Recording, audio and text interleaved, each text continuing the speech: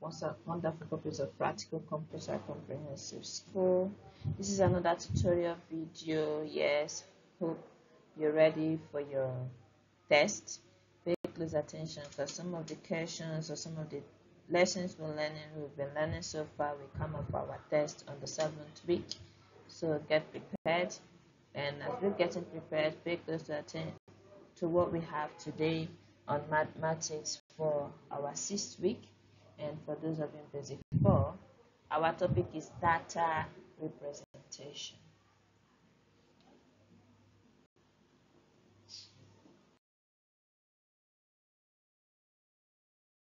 Representation or learning on what we have for this week. Let's look at our objectives.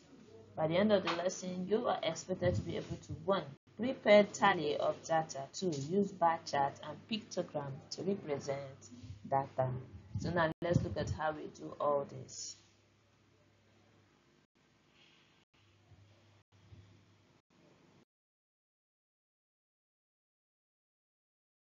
Right now we are looking at using tally to represent data. What is tally?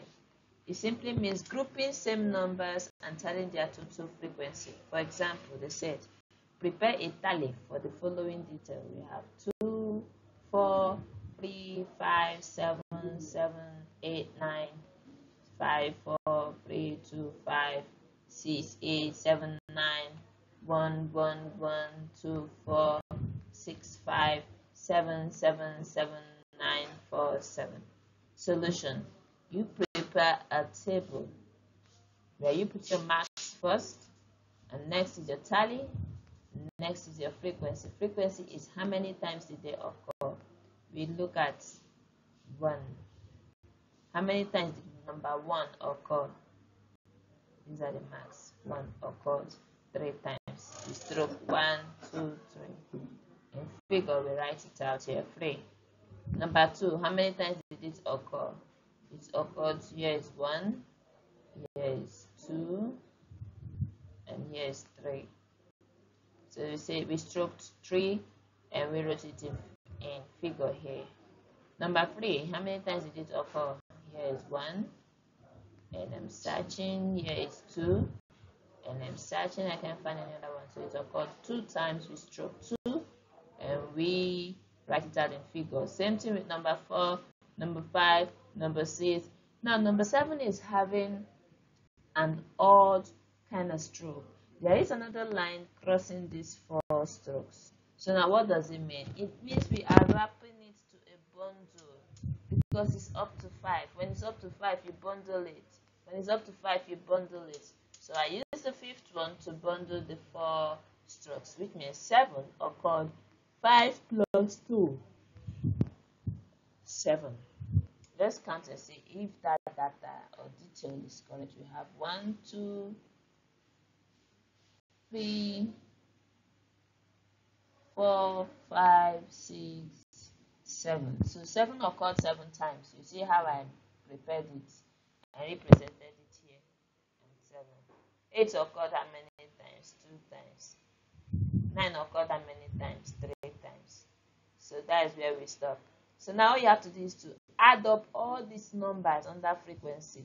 Or easily you count the tallies, the stroke. One, two, three, four, five, six, 7, 8, 9, 10, 11, 12, 13, 14, 15, 16, 17, 18, 19, 20, 21, 22 plus the one, that one on top of it, 23, 24, 25, 26, 27, 28, 29, 30. And what is our total we wrote here? 30. Now you see how to practically represent data uh, using a tally. Now let's look at using a bar graph or a pictogram next.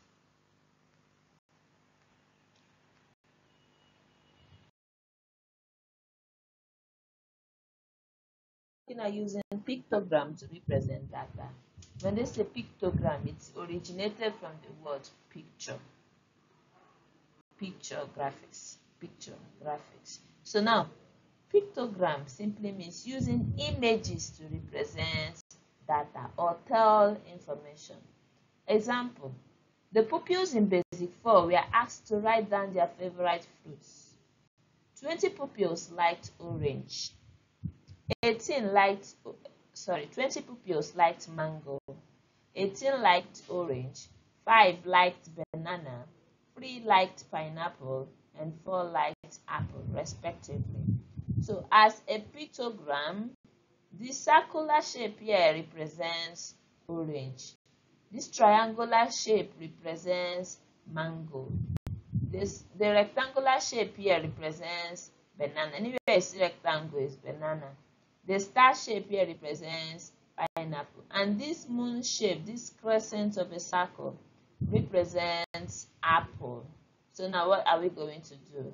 How many pupils liked mango? And what is our image for mango? Triangle. So let's count triangles and see how many is there. One, two, three, four, five, six, seven, eight, nine, ten, eleven, twelve, thirteen, fourteen, fifteen, sixteen, seventeen, eighteen, nineteen, twenty. Now you see it. This rectangular shape is for what? Banana. How many people liked banana? Five people liked banana. We count. One, two, three, four, five. So now with this shape now you've understood how many people liked which. So this is how we use pictogram to represent data.